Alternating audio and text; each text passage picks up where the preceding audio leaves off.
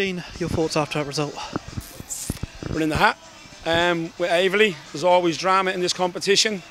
Um, and full credit to them, they kept going when they went down to nine men. And realistically, our goalie hasn't made one save today, like zero saves. Um, and we've conceded two goals. At 2 0, I thought we should have penetrated them more um, when we were really on top. Uh, we started the game really well, excellent start to score early. What you want when you come to a place like this. And then um, off the back of that, we've just gave up a goal at the end of the, at the end of the first half from a long throw.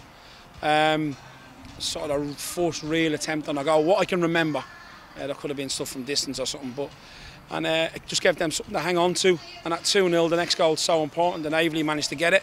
I thought we started the second half excellently, created several clear chances, good chances. Brunty's one on one. Um, Beardy got in a great position, lack of quality in the final tour to go put the game to bed.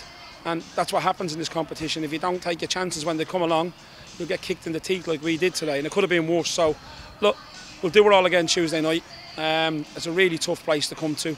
And uh, they won the Ishman League for a reason last year and got promoted uh, out of, uh, out of that division. So, uh, and they've started really well in the National League South. So, but this is a really tough place to come to. Coker came off quite early in the first half. Is that anything to do with his, the injuries coming back from? Yeah, it's, it's, that injury again. So look, listen, frustrating. Big loss for his experienced player. Um, we'd hope to have Kanu back for Tuesday and, and maybe see a little bit of Reese Hall Johnson so he, they can give us a, a, little bit of their pace. We, need, we missed their pace today.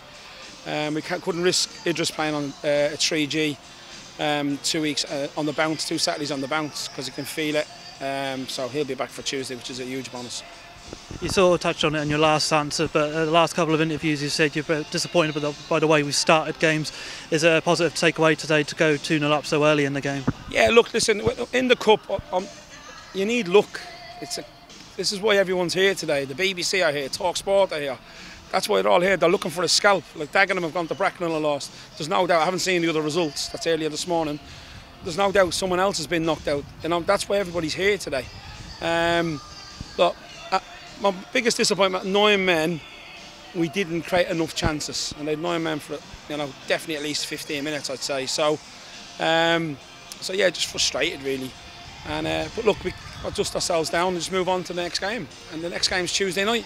And um, you can't pick and choose when you play and all this kind of stuff in this competition. So, and we've got to give Aveley a lot of credit. They kept going, kept pushing, and uh, the lads just nicked one in at the end and scored a good goal with his left foot, reversing it in the corner. There's a touch on it, obviously the replay on Tuesday, a very quick turnaround. How does the next couple of days look for you and the group? Yeah, the lads will have tomorrow off and uh, we'll watch the game back and, and uh, we prepare like we always do.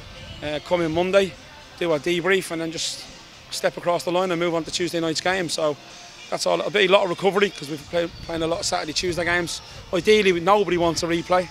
Anyone in Air Division is going to tell you that because we've just done Saturday, Tuesday uh, for three weeks on the bounce and we've got uh, I think we've got Solihull the week after on a Tuesday as well. But this is what the squad's here for. This is why we've got a 24-man squad.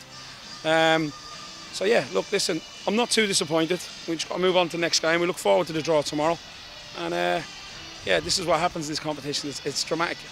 Dean, thank you for your time. Cheers, lads.